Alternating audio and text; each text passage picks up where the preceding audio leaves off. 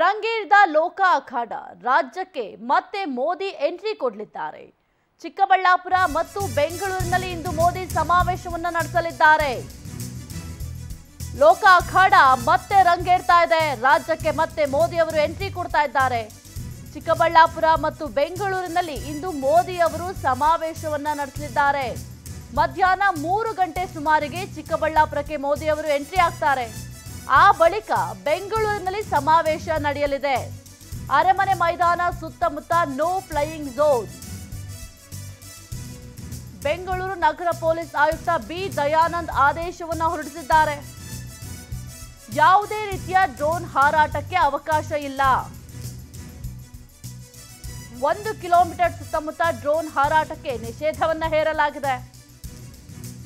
ಬೆಂಗಳೂರು ನಗರ ಪೊಲೀಸ್ ಆಯುಕ್ತ ಬಿ. ದಯಾನಂದ್ ಆದೇಶವನ್ನು ಹೊರಡಿಸಿದ್ದಾರೆ. ಎಸ್, ಲೋಕ ಅಖಾಡ ರಂಗೇರ್ತಾ ಇದೆ. ರಾಜ್ಯಕ್ಕೆ ಮತ್ತೆ ಮೋದಿ ಅವರು ಎಂಟ್ರಿ ಕೊಡ್ತಾ ಇದ್ದಾರೆ. ಮೈಸೂರು ಹಾಗೆ ಮಂಗಳೂರಿನಲ್ಲಿ ರೋಡ್ ಶೋ ಹಾಗೆ ಸಮಾವೇಶವನ್ನು ಅಬ್ಬರದಿಂದ ಮಾಡಿದ್ರು. ಈಗ ಮತ್ತೆ ಚಿಕ್ಕಬಳ್ಳಾಪುರ ಮತ್ತು ಬೆಂಗಳೂರಿನಲ್ಲಿ ಇಂದು ಮೋದಿ ಅವರು ಸಮಾವೇಶವನ್ನ ಮಾಡಲಿದ್ದಾರೆ. ಮಧ್ಯಾಹ್ನ ಮೂರು ಗಂಟೆ ಸುಮಾರಿಗೆ ಚಿಕ್ಕಬಳ್ಳಾಪುರಕ್ಕೆ ಮೋದಿ ಅವರು ಆಗಮಿಸ್ತಾರೆ.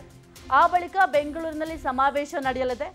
ಅರಮನೆ ಮೈದಾನದ ಸುತ್ತಮುತ್ತ ನೋ ಫ್ಲೈಯಿಂಗ್ ಝೋನ್ ಅನ್ನು ಏರ್ಪಾಡು ಮಾಡಲಾಗಿದೆ. ಬೆಂಗಳೂರು ನಗರ ಪೊಲೀಸ್ ಆಯುಕ್ತ ಬಿ. ದಯಾನಂದ್ ಅವರು ಆದೇಶವನ್ನು ಹೊರಡಿಸಿದ್ದಾರೆ.